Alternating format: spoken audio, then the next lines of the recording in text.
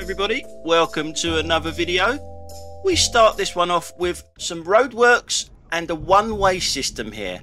Now a couple of weeks ago you could not turn right here. It was pretty pointless because you would just end up to a dead end. The road was completely closed. Now the road is open but the sign is still there. So there's no reason for that sign to be there other than the great British workforce have not done their job properly. So you can go up here and turn right. There's nothing saying that you can't go up there and turn right. But it's just a case of the great British workforce again. They've reopened the road but left the bloody signs there. So there is absolutely no reason that you can't turn right here other than the sign being left there.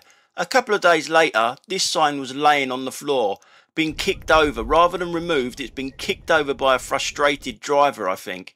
And as you can see, there is nothing here saying that you can't turn right here. But we're not looking at that. We're going to go to the rear camera now and show you something different. See that car there? Where is it going? It's still one way, going the other way. I don't think there's enough no entry signs there for it.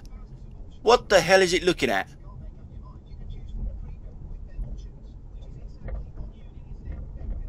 Now in this clip, as you can see, there's cars parked on the right hand side. So we have priority over oncoming traffic especially if you're in the gap first. As you can see, there's a couple of cars there that have just done the right thing, moved over. But then we come to this classic driver that don't look further than the end of their bonnet. You couldn't see us coming, no? You couldn't see us coming and just wait there.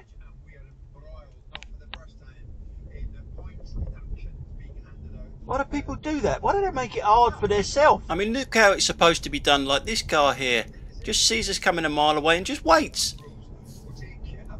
Now in this clip we're looking at the lorry to the left hand side.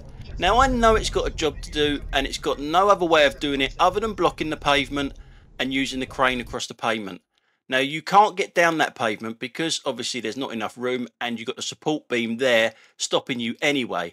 I think there should be cones around that support because as I've already shown you, some drivers do not look further than the end of their bonnet and that is sticking out like a sore thumb for some of them drivers to actually just drive straight into. So where do you guys stand on something like this?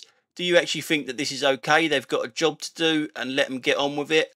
Or should there be some more safety procedures in place here? I mean, their safety procedure at the moment is one epoxy cone on the pavement here. That is it, one epoxy cone. Obviously, if you're coming from the way we're coming, there's a crossing right here, right in front of my car there. There is a crossing, but there's nothing on the other side of this. So let us know in the comments down below, what do you think about this sort of thing?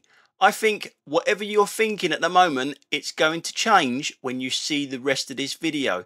When I go past this lorry, your option will change on this, I'm sure. So what do you think now? Having seen her there, she can't use the pavement, she cannot cross the road because there's no drop curb on the opposite side of the road, and she didn't even have a cone to look at there because it's on that side of the lorry.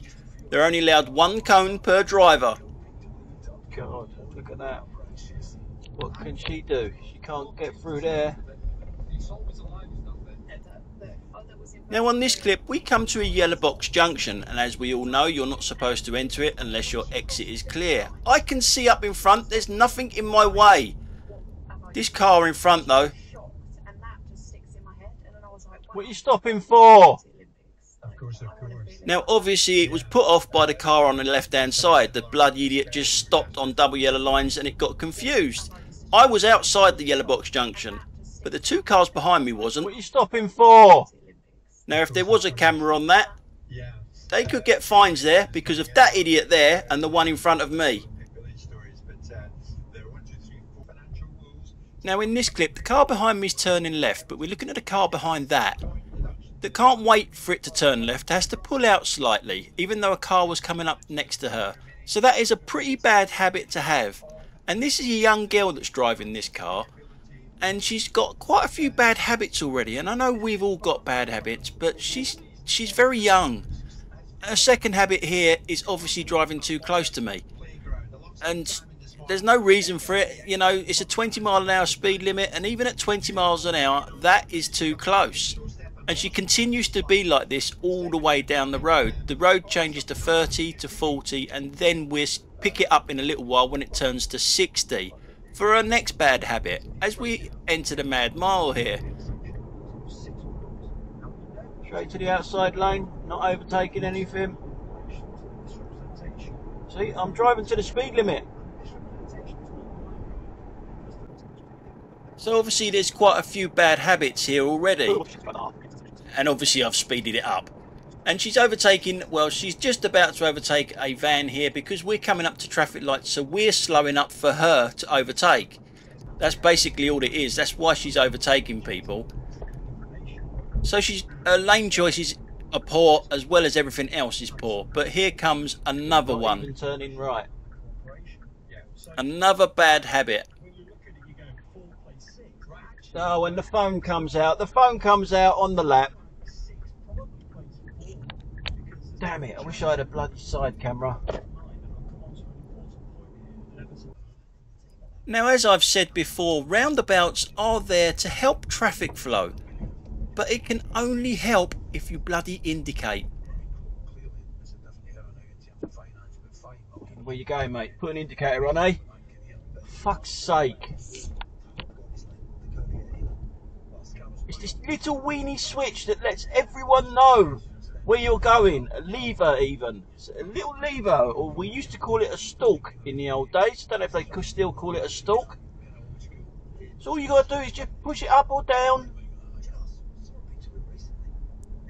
Now here's another one that I keep saying. If you make someone slow down doing any sort of manoeuvre in front of you, then you shouldn't have pulled out.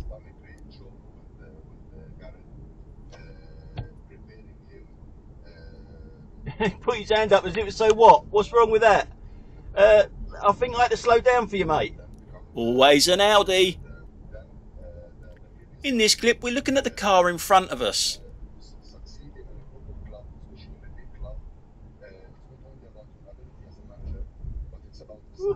What was that all about? You swerved to avoid the bloody manhole cover then and almost go into a van.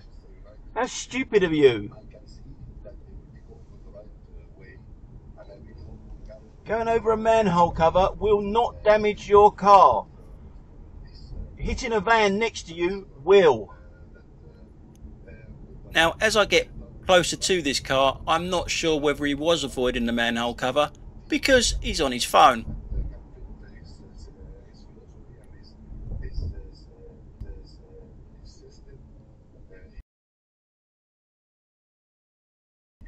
Got one hand up to his head. I wonder if he's on the phone or he's holding his head. Got a headache, maybe. Now, in this clip, we're looking at the Range Rover right in front of us. I can see to the right hand side there that there's a woman going to be crossing with a pram. The Range Rover can't see that. We've already covered in this video about people not seeing any further than the end of their bonnet, and this is a classic example of it because that was one You'll see a black car to the right hand side of the Range Rover there. Yes, it does something stupid in a minute. It's trying to do a U-turn out of this hospital because of the traffic there. no one's going anywhere, so it does a U-turn right in the neck of that turn in there, which is pretty daft. But I can see it. Again, the Range Rover cannot see it. There it goes. It's going to do a U-turn now. The Range Rover is going to overtake the car in front of it, but it doesn't see that Kia doing the U-turn and obviously won't wait for it and go straight across. What is wrong with these people? Why can they not see any further than the end of their bonnet? Now the camera doesn't do this justice. We're looking at a car coming out from the left hand side here. It was actually going quite fast and it was quite a hard brake. It doesn't really do it justice on the camera though. But it made me alert to it. It made me look what it was doing. No front number plate.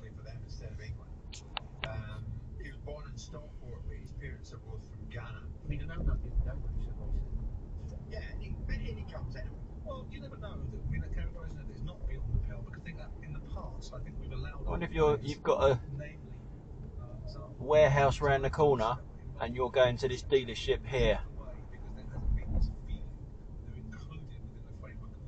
And this goes into here. You should have trade plates on if you are. And maybe, yeah, there you go. There's, you should be indicating as well. That's what's happened.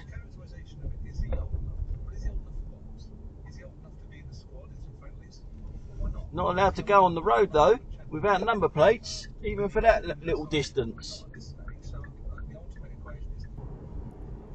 A little petrol head moment for you there. It's very quick, I'm afraid. Driving is always about trying to make it easier for each other on the road. As you can see now, I'm going to give up my priority to the bus. Shame about the van, making it difficult. That way, mate. Oh, why are you making it difficult?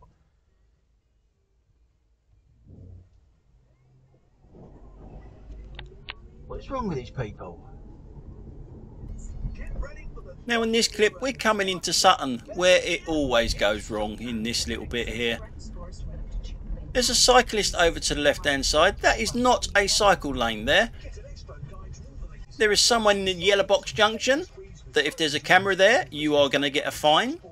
But we're looking at this pedestrian that's crossing the road here to the left hand side and this Fiat 500 who says something to her about getting out of the way and you can tell by the reaction someone needs to really look at the highway code again